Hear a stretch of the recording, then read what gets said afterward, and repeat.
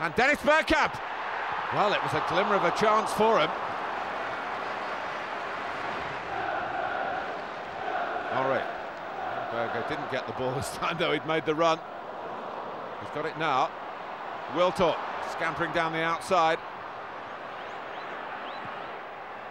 And in comes Lahan!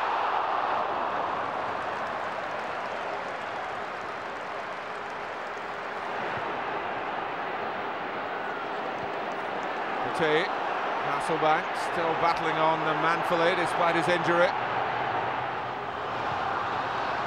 Gudjohnsen. Oh, it was dipping in until David Seaman did his stuff.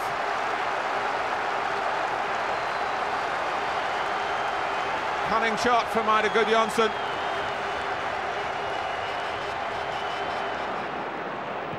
Adams. It's good work by Wiltord. And Ray Parlour takes it on. Parlour! It's a vintage FA Cup goal for Arsenal. Only Ray Parlour's second goal of the season. It's come in the FA Cup final. And here's Cole. He's in behind Chelsea. Henry is there. And it came off Cudicini a bit too quick for Parlour to deal with that time. Edu. Arsenal know uh, what can happen if you don't get a second goal. Remember last year, Ljungberg, he's got the better of Terry. Freddie Ljungberg!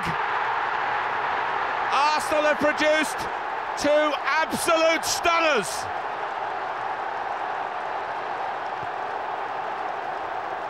Both goals of the Bergkamp variety, but scored by Parlour and Ljungberg.